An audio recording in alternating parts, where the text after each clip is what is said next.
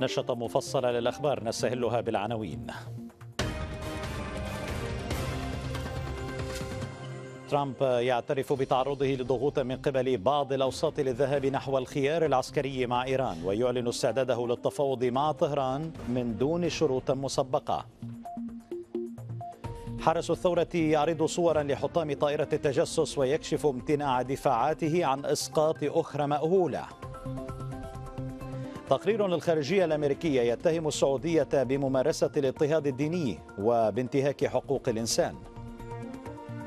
عشرات الجرحى في اعتداءات الاحتلال على مسيرة العودة في غزة والفصائل الفلسطينية تدعو للمشاركة الحاشدة في الفعاليات الرافضة لورشة البحرين. الوحدة ونبذ الفتنة عنوان الجمعة التاسعة عشرة من التظاهرات الشعبية في الجزائر. وفي النشرة افتتاح مبهر لكأس أمم أفريقيا لكرة القدم في مصر.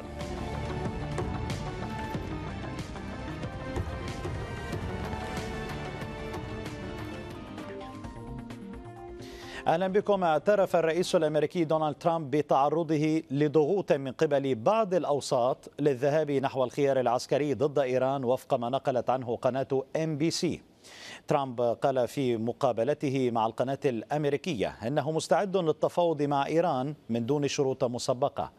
مضيفا أن أي اتفاق مع طهران يجب أن يتضمن مسألة الصواريخ البالستية. وجدد ما كان أعلنه في تغريداته بأنه تراجع عن استهداف مواقع إيرانية. كانت هناك قطع جاهزة للانطلاق بانتظار موافقة نهائية وأتوا إلي قبل ساعة ونصف وأبلغوني أنهم مستعدون للانطلاق. هل كانت الطائرات الأمريكية في السماء؟ كلا لم تكن كذلك بعد بل أوشكت أن تنطلق وكانت ستحصل أمور لا يمكن العودة فيها إلى الوراء حينها طرحت سؤالا كم عدد الأشخاص الإيرانيين الذين سيقتلون؟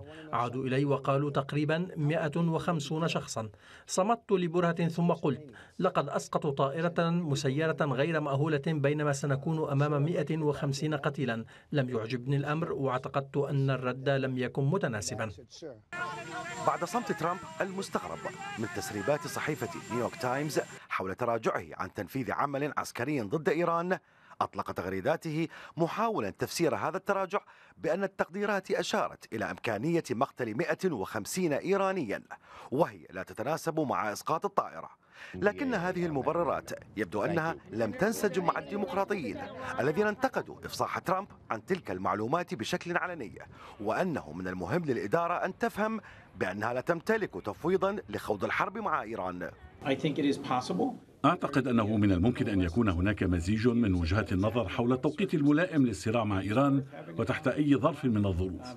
لكن البيئة الرهينة ليست ملائمة فلا توجد استراتيجية واضحة وتقديرات لحجم الخسائر. في المقابل فإن تراجع ترامب أصاب بعض أركان حزبه الجمهوري بخيبة أمل بعدما كانت تصريحاتهم عن رد أمريكي مناسب تشير وكأن العمل العسكري بات قريبا. أعتقد أن الإيرانيين يخطئون في تقدير العواقب. يعتقدون أنهم ربما يتعاملون مع بعض الرؤساء في الماضي. هذا الرئيس مختلف عن الرؤساء السابقين وهو ملتزم بالدفاع عن هذا البلد. قد يكون من السابق لأوانه. تحديد من هو الرابح أو الخاسر على مستوى الداخل الأمريكي من هذا التصعيد. لكن الواضح أن ترامب أظهر أنه يمسك بزمام القرار عبر هذه المناورة وأنه لا يخضع لرموز الحرب المتشددين في إدارته.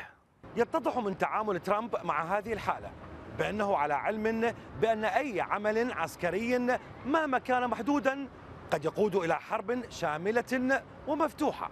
حرب قد تهدد فرص نجاحه في الانتخابات الرئاسية المقبلة. محمد كريم واشنطن. الميادين.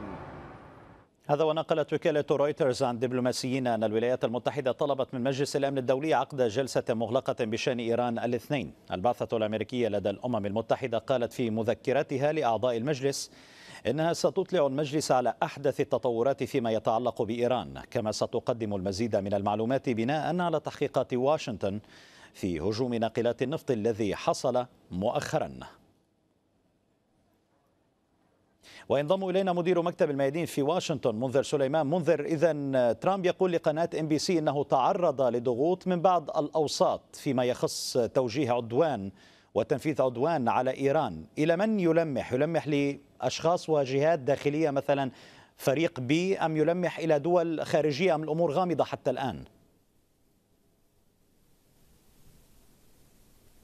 الان بالتأكيد هو يعول دائما على التدخل آه، الداخلي بشكل أساسي على الضغوط الداخلية وربما من داخل الحزب بالدرجة الأولى وخاصة من الحملة الانتخابية لأنه آه، آه، بالتأكيد كما ورد في التقرير يدرك أن الدخول في معركة أو في عمل عسكري لا يمكن للعمل العسكري مع إيران أن يكون محدودا أو أن يبقى محدودا. سيتدحرج إلى عمل شامل وحرب مفتوحة. آه، بالتأكيد كان هناك تصريحات واضحة دولية خاصة من روسيا آه، على وجه التحديد. بالطبع هناك من يحاول يعني نتنياهو قد يحاول آه، بعد أن تم ما جرى أن يحاول أيضا أن يظهر نفسه بصف الحمائم فجأة وهناك بعض التسريبات على أنه كان أيضا من الأشخاص الذين ذكروا أو قالوا لترامب بصرف النظر عن استخدام القوة العسكرية ولكن هذا أمر مستبعد جدا. يبقى أن ترامب هو شخصية في نهاية الأمر لا يخضع للضغوط. هو هو نفسه لم يكن لديه ميل وكان يحاول إيجاد مخرج عندما التقى في المؤتمر الصحفي القصير. هو ليس مؤتمرا صحفيا بلقاء رئيس الوزراء الكندي ترودو. كان يحاول إيجاد مخرج وعندما تحدث عن أن هناك جنرال ربما آه، يتصرف بشكل منفرد في إيران وأن هذا العمل غير متعمد وأن آه، هذه آه، تم إسقاط طائرة غير مأهولة وكأنه كان يبحث عن مخرج وفي نفس الوقت يعني ليس يعني متأكدا من أن الإقدام على مثل عمل عسكري سيكون له نتائج إيجابية. إذا بنهاية الأمر آه، هو يحاول إبراز أنه الرئيس الذي يستخدم صلاحيات الرئيس وأنه يمتلك القرار يمتلك نعم. زمام الأمور هو يستطيع الذهاب إلى أي مكان يشاء يعني في في مواقفه ويتراجع وأنه هو مالك لقراره وأن هذا هو الأسلوب التكتيك في ممارسة الضغوط طيب منذر ولكنه آه نعم. بالتأكيد هو نعم الإيران درسا من ذلك. نعم يعني الإيرانيون بالحديث عن الدروس. أنه سيحقق النتائج المرجوة له. نعم الإيرانيون قالوا أن ترامب يعني لو نفذ عدوانه آه، كان آه، سيؤذي مصيره الانتخابي. هو تراجع اتخذ قرار بالتراجع. هل أن يكون لذلك القرار أيضا تأثيره في مسألة الانتخابات؟ بالتأكيد بالتأكيد هو آه، يدرك جيدا أن أحد أسباب قبوله أو تقبله بالإضافة إلى عوامل أخرى ومجيئه إلى الرئاسة رغم أنه خسر الأصوات الشعبية ولكن أصوات الولايات استطاع الحصول على ما يكفي من الكلية الانتخابية لانتخابه. أنها كانت أحد الأسباب هو موقفه من الحرب. كان كان متشددا ضد الحروب المفتوحة التي خاضتها الولايات المتحدة مؤخرا. وبالتالي هو يدرك أن آه، آه، بحسابات بسيطة أن الموقف الإيراني وطريقة تصرف القيادة الإيرانية تعني بأنها لن تسكت عن أي عمل عسكري يستهدفها وسيكون هناك سلسلة من الأعمال العسكرية المتبادلة وبالتالي هذا سيقود إلى حرب شاملة وإلى انخراط أوسع للولايات المتحدة وهذا بالتأكيد سينسف حظوظه في الانتخابات في ظل انتخابات شديدة واحتقان داخلي ومحاصرة له بالتحقيقات وبالمواقف الأخرى بمعنى أن نعم. القطاع المستقل أو الكتلة المستقلة الانتخابية لن تتحرك باتجاهه كما تحرك جزء منها في السابق خاصة في ظل حرب لأن الشعب الأمريكي تعب من الحروب عمليا نعم. يعني هو صحيح قد يقف إلى جانب الجيش الأمريكي في حال الجيش الأمريكي تعرض لأي عمل عسكري أو في حال انخراط الأمريكيين في عمل عسكري هو قد يؤيد. القيادة وقد يؤيد الجيش الأمريكي ولكنه لن يؤيد الحرب وسيعاقب الرئيس الذي يقود الولايات المتحدة إلى حرب مفتوحة وحرب آه، مكلفة ماديا وبشريا. شكرا جزيلا لك منذر سليمان مدير مكتب الميادين في واشنطن. طهران أكدت في المقابل أنها امتنعت عن إسقاط طائرة استطلاع أمريكية ثانية من طراز بي ثمانية كانت على متنها 35 جنديا. أمريكيا مشيرة إلى أن إسقاط الطائرة الأمريكية دليل قوة إيران وتطور قدراتها الدفاعية. في غضون ذلك نفت أمانة المجلس الأعلى للأمن القومي الإيراني ما كانت نقلته وكالة رويترز حول إرسال واشنطن رسالة إلى إيران عبر سلطنة عمان للتحذير من هجوم قريب. مالك عبده.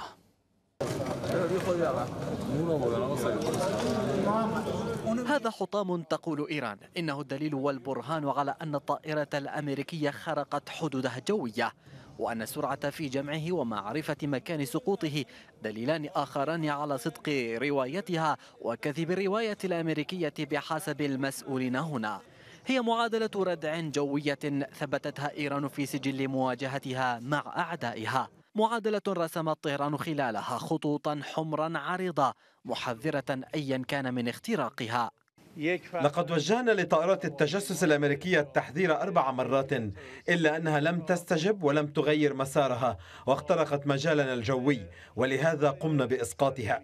ولأخذ العلم كان هناك بالقرب من هذه الطائرة طائرة تجسس أخرى من نوع بي ثمانية وقد اخترقت مجالنا الجوي ولكن لأنه بداخلها 35 شخصا لم نقم بإسقاطها وتدميرها. من أحدث طائرة مسيرة في العالم إلى حطام متناثر. حولت إيران هذه الطائرة الأمريكية المسيرة. هي رسالة توجهها إيران إلى كل من أراد الاقتراب من الحدود البرية والجوية لأرضها. صحيح أن لا أحد هنا يدعو إلى التصعيد مع أمريكا ولكن ما لا يختلف عليه اثنان هو أن إسقاط الطائرة الأمريكية أثبت القدرات العسكرية الإيرانية وأن طهران جادة في تحذيراتها في التصدي لأي عدوان محتمل. نحن أهل المنطق والعقل. قدرتنا المنطقية مثبتة من قبل. لم نكن يوما البادئين بالحرب. نحن أهل المقاومة والردع الفعال. لن نبدأ الحرب ولكن إن بدأتموها فلن تكونوا أنتم من ينهيها.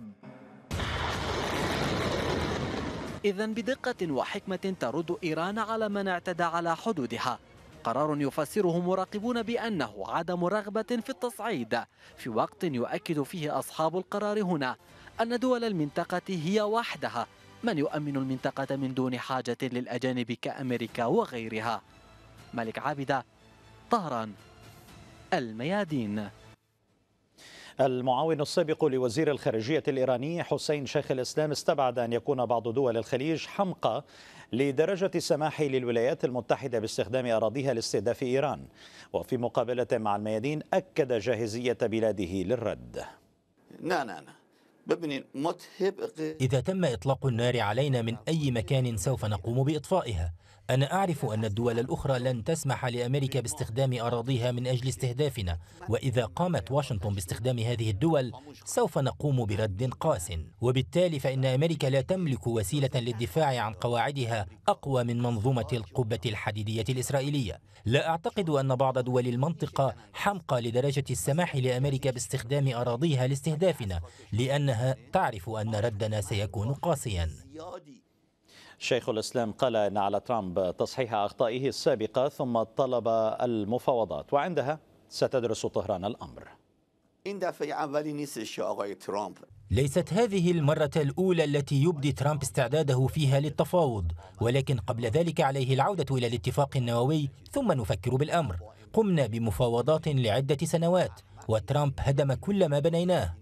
عليه تصحيح أخطائه السابقة أولا ثم طلب المفاوضات وعندها ندرس الأمر. وقال المتحدث باسم وزارة الخارجية الإيرانية عباس موسوي أن الشعب الإيراني يرد الدبلوماسية بدبلوماسية والاحترام بالاحترام والحرب بالدفاع المستميت. وفي تغريدة على تويتر سأل موسوي المبعوث الأمريكي الخاص المعني بشؤون إيران براين هوك هل تعتبر سنوات الحرب والإرهاب الاقتصادي المفروض على الشعب الإيراني مع نقض العهود والقرارات بأنها دبلوماسية؟ وكان هوك قد قال إن المساعي الدبلوماسية الأمريكية لا تمنح إيران حق الرد بالقوة العسكرية بل عليها الرد عليها بالدبلوماسية بمثلها. هوك كان قد التقى في الرياض نائب وزير الدفاع السعودي الأمير خالد بن سلمان الذي جدد دعم بلاده للعقوبات الأمريكية على إيران. وقال أن المباحثات شملت الجهود المبذولة للتصدي لما وصفه بنشاطات إيران العدائية. البيت الأبيض قال أن الرئيس الأمريكي دونالد ترامب وولي العهد السعودي الأمير محمد بن سلمان بحثا أمس خلال اتصال هاتفي ما وصفه بالتهديد الذي تمثله إيران. البيت الأبيض قال أن ترامب وابن سلمان بحثا أيضا ما قال عنه إنه دور السعودية في ضمان استقرار الشرق الأوسط وسوق النفط العالمية. إلى ذلك أصدرت إدارة الطيران الاتحادية الأمريكية أمرا طارئا يمنع المشغلين الأمريكيين من الطيران في مجال الدفاع الجوي الإيراني فوق مضيق هرمز وخليج عمان بسبب تصاعد التوتر. بدورها أعلنت الخطوط الجوية الملكية الهولندية تعليق رحلاتها عبر أجزاء محددة من الأجواء الإيرانية كإجراء احترازي بعد تصاعد التوتر بين طهران وواشنطن في منطقة الخليج. وسائل إعلام إسرائيلية قالت إن كلام ترامب يبدو في مكان وأفعاله في مكان آخر معتبرة أن الإيرانيين انتقلوا من الصبر الاستراتيجي إلى الإحراج الاستراتيجي لترامب قبل سنة ونصف من الانتخابات. قناه كان الإسرائيلية نقلت عن العميد في الاحتياط والرئيس السابق لشعبة الاستخبارات في الموساد أمنون صوفرين قوله إن لدى الإيرانيين قدرة صمود كبيرة جدا وأن الشعب يلتف حول القيادة وأن الضغط الاقتصادي وحده لن يكفي لجعل أمة مثل إيران تجثو على ركبتيها. وأضافت القناة أن دول الخليج وإسرائيل تفاجأت بتراجع ترامب لأنها كانت واثقة أنه سيهاجم إيران. الاهتمام الإسرائيلي بتطورات التوتر بين إيران والولايات المتحدة في الخليج وبمواكبتها ترافق مع قلق من انعكاساته على إسرائيل بسبب الدور الذي تؤديه في التحريض ضد إيران. منال إسماعيل. باهتمام كبير يتابعون في إسرائيل إسقاط إيران طائرة تجسس أمريكية من دون طيار فوق مضيق هرمز والتقارير عن إلغاء الرئيس الأمريكي دونالد ترامب قرارا بشن هجوم أمريكي ضد إيران في اللحظات الأخيرة. رئيس الحكومة بنيامين نتنياهو الذي أوعز لوزرائه بالصمت وعدم التعليق على حادثة إسقاط الطائرة الأمريكية تكفل هو بالأمر. وطالب متوسطا العالمين الإسرائيلي والأمريكي الدول الأخرى بدعم الولايات المتحدة في مواجهة إيران. في الأربع والعشرين ساعة الأخيرة زادت إيران من عدوانيتها ضد الولايات المتحدة الأمريكية وضد المجتمع الدولي أكرر دعوتي لكل الدول التي تريد السلام والأمن من أجل دعم واشنطن في جهودها ضد العدوانية الإيرانية. التقديرات الإسرائيلية تشير إلى أن ترامب لن يستطيع ممارسة ضبط النفس لكنه في المقابل قد يذهب إلى رد ركيك قد يؤدي إلى تصعيد لا يرقى إلى مستوى المواجهة وهذا ما يقلق إسرائيل بسبب خشيتها من تحولها إلى إحدى ساحات هذا التصعيد بسبب التحريض الذي تمارسه ضد إيران. التقديرات الإسرائيلية تفيد بأن الإدارة الأمريكية لا تستطيع ضبط النفس لكن الفهم في إسرائيل أن ترامب موجود في فخ فمن جهة يصرح بأنه غير معني بحرب ومن جهة أخرى لا يستطيع عدم الرد لذلك يقدرون بأن الرد سيكون مدروسا ولا يجر إلى مواجهة شاملة في المنطقة. الزاوية الإسرائيلية للتصعيد في الخليج هي الخشية من سيناريو أن تعطي إيران توجيهات لتنفيذ ضربات ضد إسرائيل لأنها تريد أن ترسل إشارة للولايات المتحدة بأن أي عمل هناك سيكون له ثمن وسيشعل المنطقة. وفيما أشار مراقبون إلى أن إيران تمثل خطرا على إسرائيل لأن لديها استراتيجية واستعدادا للقتال مقابل رئيس أمريكي يبدأ تهديداته بتغريدات نارية وينتهي باتفاق لا يختلف عن سابقه أو بأزمة مستمرة. لفت آخرون إلى أن إسرائيل طرف في القصة فهي تدفع إدارة ترامب إلى مواجهة مع إيران. وإذا وصلت الأمور إلى مكان غير جيد ستعد إسرائيل مسؤولة وبالتالي هدفا لصواريخ دقيقة. لذلك فإن مشكلة السير على حافة الهاوية تكمن في فقدان السيطرة. وينضم إلينا من بيت لحام مدير مكتب الميادين في فلسطين ناصر اللحام. ناصر اذا هناك غياب يعني للتصريحات الرسمية الإسرائيلية حول قرار ترامب بالتراجع عن العدوان على إيران. كيف يفسر ذلك؟ وهل هناك ما يؤكد بأن إسرائيل فعلا كانت على علم بهذا العدوان بالنية على الأقل؟ صباح الخير أيام. في الحقيقة ربما السؤال يفسر بما سأقوله. هناك فوضى في العناوين طوال اليوم. تقريبا 12 ساعة فوضى في العناوين. عناوين متخابطة في بحر هائج من التطورات والمتابعات لكن في النهاية لن تحصل على موقف رسمي إسرائيلي صمت رسمي كبير. انشداد واهتمام بالغ جدا فيما حدث أدق التفاصيل. زاوية أخرى ثالثة لا يوجد مصدر محدد للأخبار الإسرائيلية وربما هذا مقصود تهدئة روع الجبهة الداخلية الإسرائيلية التي رأت بأنه Global Hawk الطائرة الأمريكية التي وصفها الإعلام العبري بالوحش إذا الوحش سقط قرب إيران. فماذا يمكن أن تفعل الوحوش الصغيرة في إسرائيل؟ إذا نحن أمام مشهد لا نشاهده كل يوم. المتابعات تشير إلى أن إسرائيل لا تتحكم في هذه اللعبة. هي مستهلكة وليست منتجة. ربما الرسائل التي كانت تسوقها وهما لبعض العواصم العربية بأنها هي مفتاح قلب ترامب وأنها التي تقرر نيابة عن ترامب سواء من خلال بولتون أو غير بولتون. هذا يثبت عكسه هذا اليوم يدحض كليا إذ أن إسرائيل لا تتحكم باللعبة لا تتحكم بالأخبار ولا تعرف ما الذي سيحدث لا في نشرات الأخبار ولا من خلال التسريبات التي لم نراها اليوم. دخل السبت اليهودي وربما هذا أنقذ الحكومة. من هنا وحتى مساء السبت لن يكون هناك تصريحات رسمية إلا ما ندر. على كل حال من الأحوال واضح إنه الألم شديد على إسرائيل.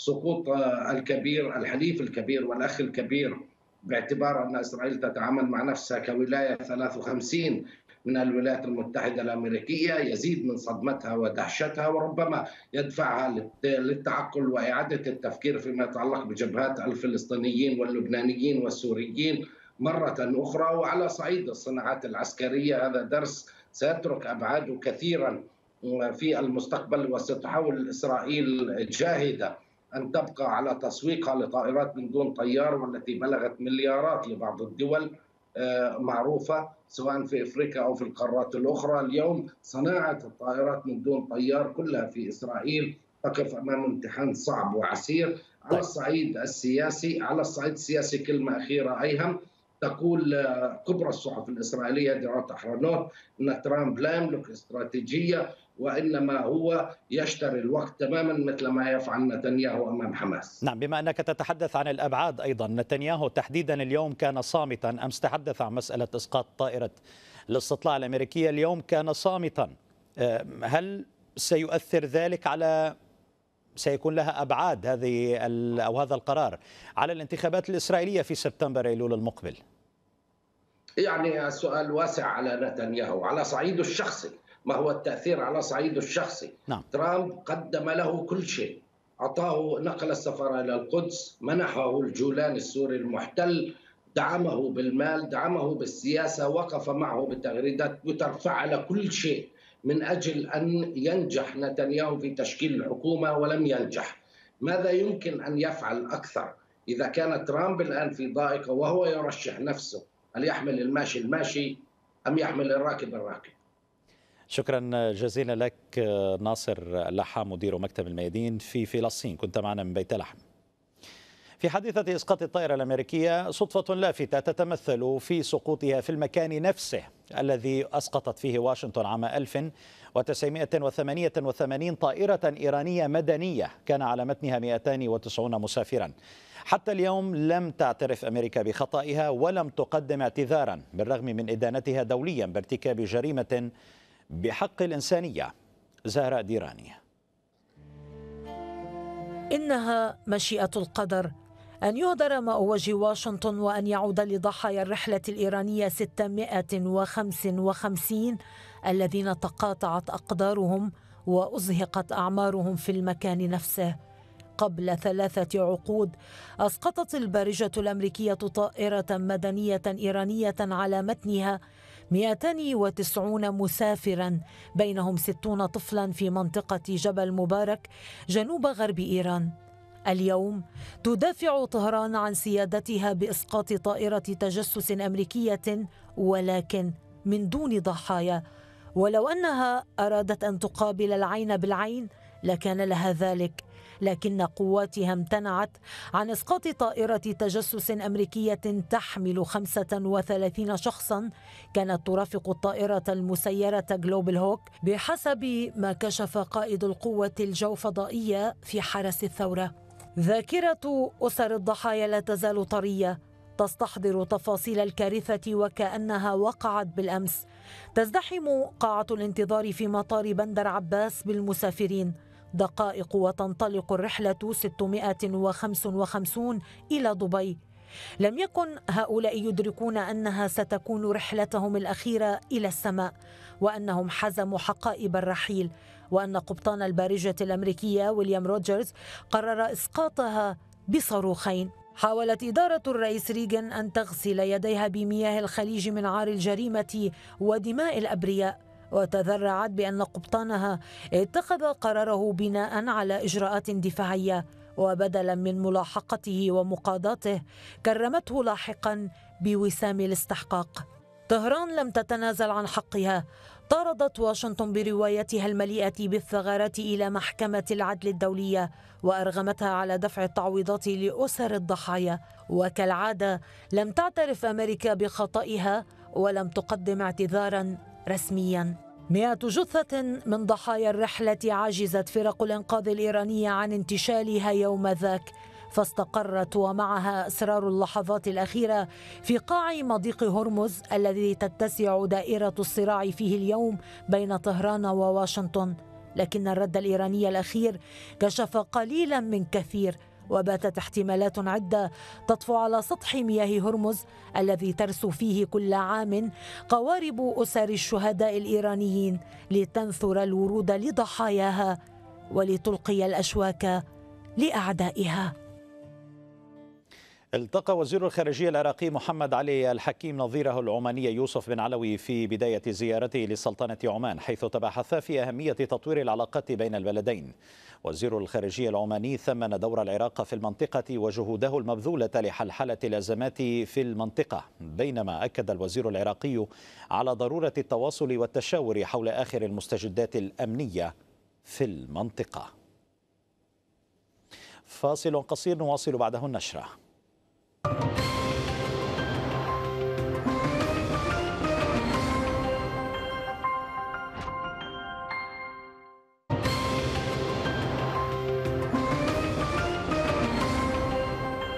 من جديد أهلا بكم. وصف تقرير صادر عن وزارة الخارجية الأمريكية المحاكم الدينية في السعودية بأنها من بين الأسوأ في دول العالم. واتهمت الرياضة بممارسة الاضطهاد الديني وإصدار أحكام بحق موقفين الشيعة بتهم أمنية سببها دوافع طائفية. وشدد التقرير على أن التهم الموجهة للشيخ سلمان العودة تزعم صلته بالإخوان المسلمين ولا يوجد فيها ما يشير لارتكابه أعمال عنف كشفت الحكومة اليمنية في صنعاء أنها قادرة على إطلاق عشرات الصواريخ والطائرات المسيرة ضد أهداف معادية وبشكل منتظم. جاء ذلك في تغريدة لنائب وزير الخارجية حسين العزي الذي شدد على أن قصف أهداف سعودية ليس إلا رسائل للضغط بهدف إيقاف الحرب ودعا للاستجابة والعمل من أجل السلام بدلا من المراهنة على الحرب إلى ما لا نهاية. أصيب عشرات الفلسطينيين بقمع الاحتلال للجماهير المشاركة في مسيرات العودة على الحدود الشرقية لقطاع غزة. في وقت دعت فيه الفصائل إلى فعاليات يومي الخامس والعشرين والسادس والعشرين بالتزامن مع ورشة البحرين رفضا لصفقة القرن. أحمد شلدان مع اشتداد حلقات المؤامرة على القضية الفلسطينية استمرت الحشود الغزاوية في تحركاتها الشعبية المطالبة بحقوقها الوطنية. آلاف المواطنين شاركوا في يوم الجمعة الثالث والستين من مسيرات العودة والتي كانت تحت عنوان الأرض مش للبيع إحنا بنتنزلش. هذه أرضنا أرض إسلامية. اللي بفرط بأرضه بفرط بعرضه.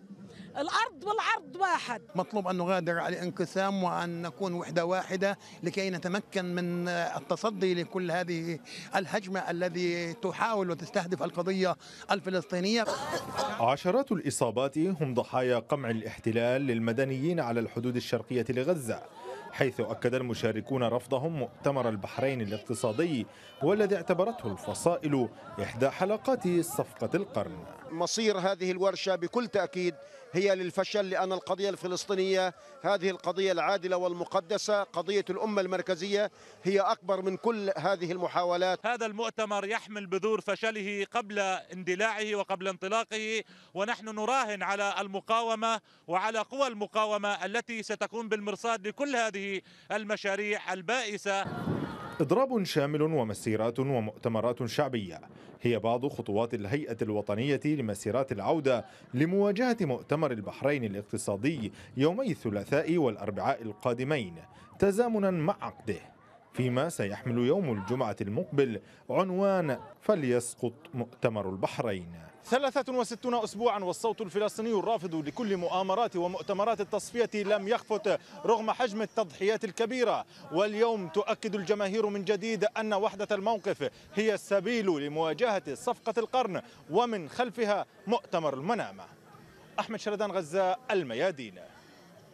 في الأردن شهدت عمان تظاهرة حاشدة رفضا لصفقة القرن ودفاعا عن فلسطين المحتلة. المتظاهرون رفعوا لافتات طالبت بإسقاط صفقة القرن ومؤتمر البحرين وبالوحدة لمواجهة مشاريع التصفية.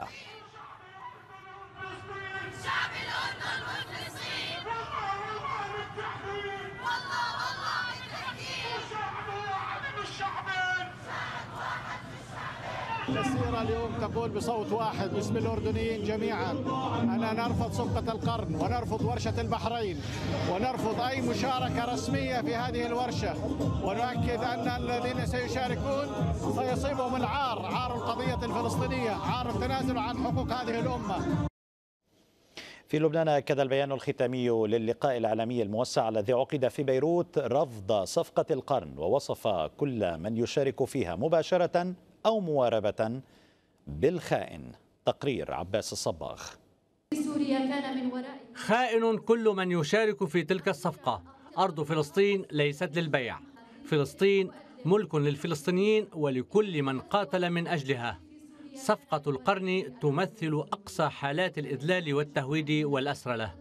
هي خلاصة ما أجمع عليه حشد من السياسيين والإعلاميين من لبنان وفلسطين وسوريا وإيران والعراق واليمن والبحرين خلال لقاء بعنوان إعلاميون في مواجهة صفقة القرن الذي عقد في بيروت. سنواجه معا صفقة. كنا نعتبر بالسابق أننا نواجهها غنائيا ولكن بعد الإنجازات الميدانية بدنا نتأمل أكثر بأننا أصحاب هذه الأرض وهنا سنبقى. صعب جدا على أي تسوية أو أي خيانة جديدة أو أي طعنة جديدة أنه تمرق لسبب بسيط. في ناس قرروا المواجهة. الحشد المتنوع جمعه رفض صفقة القرن وورشة البحرين. أما البوصلة الحقيقية فهي فلسطين. في بلد ضاعت وأصحابها موجودين. مش ممكن يعني وضع غير سوي. هذا الشعب وين بيروح؟ هاي الأرض أرضه. ومن اليوم لآخر يوم رح يضل هاي أرضه. بيخلقوا الأولاد اللي عم يخلقوا برات فلسطين وعينهم على فلسطين. المؤتمرون أكدوا أن كل من يشارك في صفقة القرن خائن. وإن التفاوض على الحق هو الباطل عينه. ما يستدعي استنفار جميع الإعلاميين الوطنيين والمؤمنين بحق الفلسطينيين في أرضهم والساعين إلى كشف الكذب الإسرائيلي الأمريكي الأعرابي. وما يزال التاريخ يثبت أن ما أخذ بالقوة لا يسترد بغير القوة. مواجهة صفقة القرن بالوسائل المتاحة كافة هي المهمة الأساسية التي دعا إليها اللقاء الإعلامي الموسع. لا لصفقة القرن لا لورشة البحرين لا للتنازل عن الحقوق العربية. لاءات رفعها هذا الحشد السياسي الإعلامي من قلب بيروت للتأكيد على أن الصفقات لا يمكن أن تسلب الأرض من أصحابها. عباس صباغ بيروت الميادين.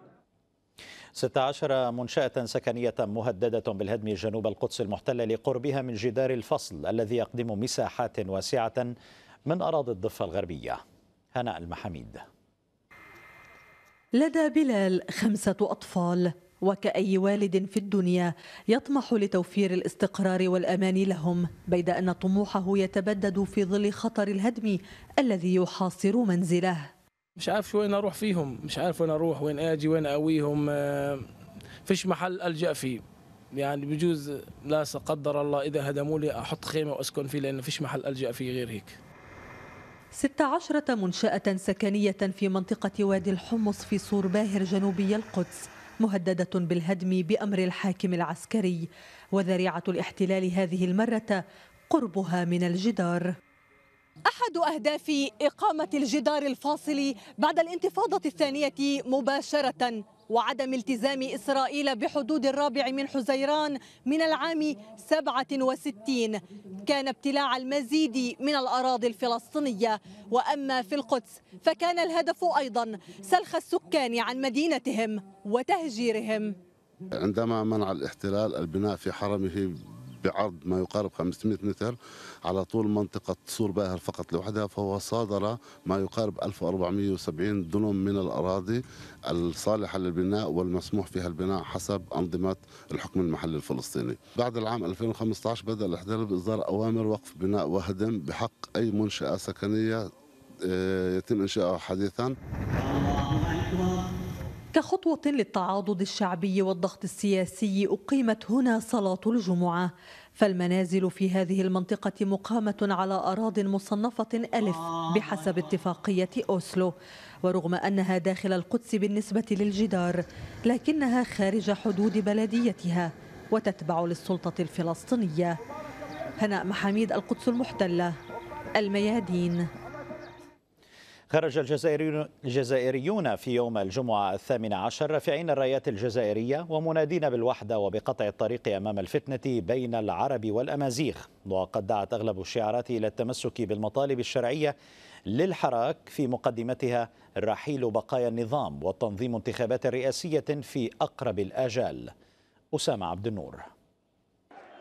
خفاقة بالأخضر والأحمر والأبيض رفرفت الراية الجزائرية فوق رؤوس الجماهير الشعبية التي خرجت ككل جمعة لتعبر عن مطالب التغيير السلمي للنظام وإجراء انتخابات رئاسية تحت إشراف مستقل وضمانات الشفافية والنزاهة.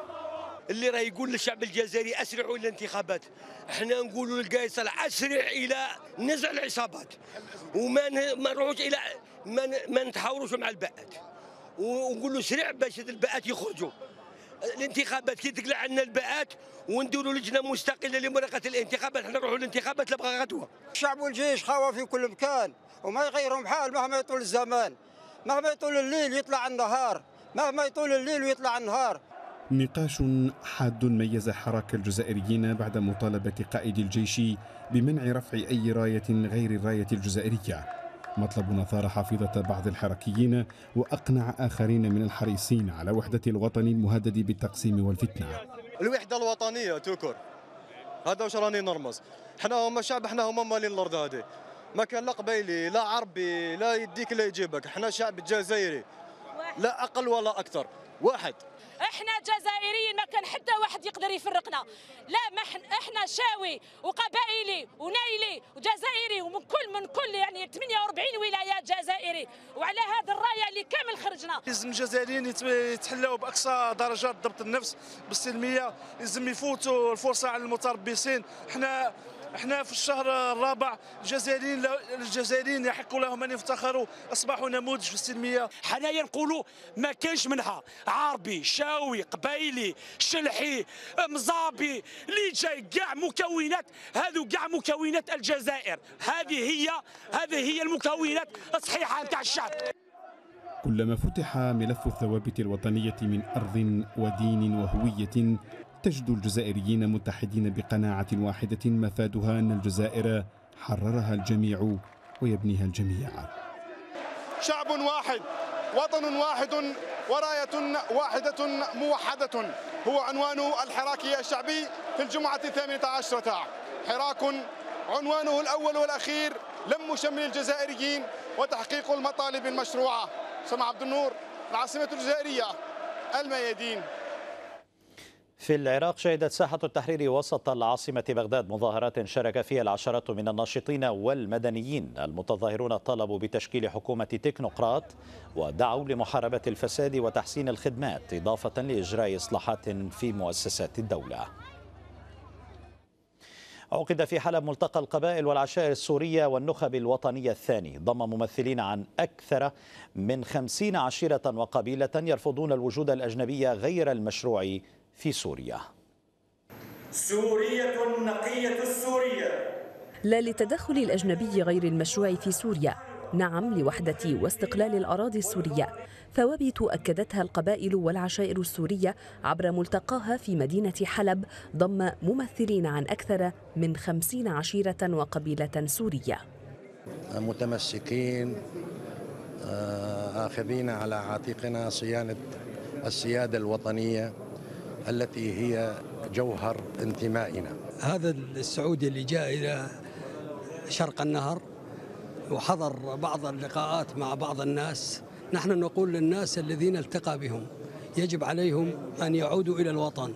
وحدة الأرض وإخراج القوات الأمريكية والتركية ورفع الإجراءات الاقتصادية أحادية الجانب رسائل أراد ملتقى العشائر إيصالها ردا على التطورات الأخيرة في شرق الفرات بما فيها زيارة الوزير السعودي ثامر السبهان لدعم قسد رسالة إلى كل المرتزقة الذين يحاولون أن يؤسسوا دويلة أو دويلات أو ينتسبوا إلى أي آه، مشاريع استعمارية رهنوا نفسهم إلى الخارج.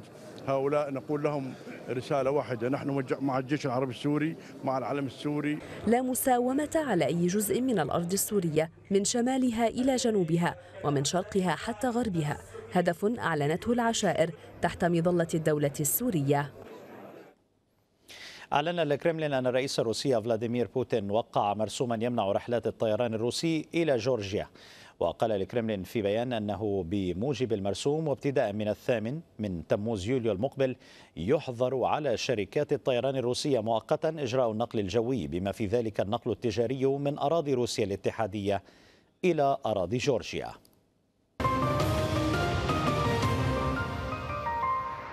وسط إجراءات أمنية مشددة افتتحت مصر كأس الأمم الأفريقية الثانية والثلاثين في كرة القدم بحضور رئيس البلاد عبد الفتاح السيسي. مدرجات استاد القاهرة الدولي امتلأت قبل خمس ساعات على انطلاق باكورة المباريات بين منتخب الفراعنة وزيمبابوي. ورحب الرئيس المصري بالمنتخبات والمشجعين الأفارقة في وطنهم الثاني مصر وأعلن افتتاح البطولة. حفل الافتتاح الضخم امتد لنصف ساعة وارتكز على عرض ضوئي وألعاب نارية أحاطت بثلاثة أهرامات توزعت على أرض الملعب.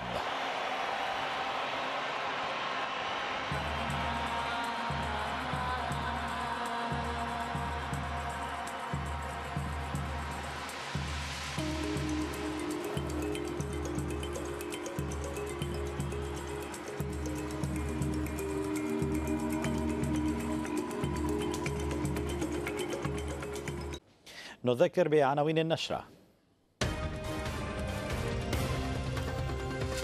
ترامب يعترف بتعرضه لضغوط من قبل بعض الأوساط للذهاب نحو الخيار العسكري مع إيران ويعلن استعداده للتفاوض مع طهران من دون شروط مسبقة. حرس الثورة يعرض صورا لحطام طائرة التجسس ويكشف امتناع دفاعاته عن إسقاط أخرى مأهولة. تقرير للخارجية الأمريكية يتهم السعودية بممارسة الاضطهاد الديني وبانتهاك حقوق الإنسان.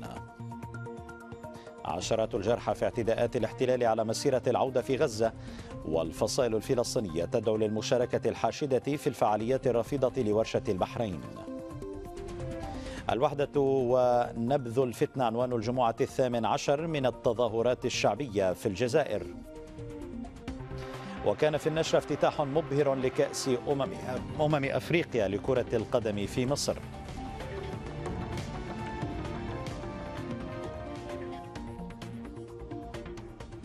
المزيد من الأخبار على صفحة الميادين على الإنترنت الميادين دوت نت وباللغة الإسبانية اسبانول دوت الميادين دوت نت. إلى اللقاء.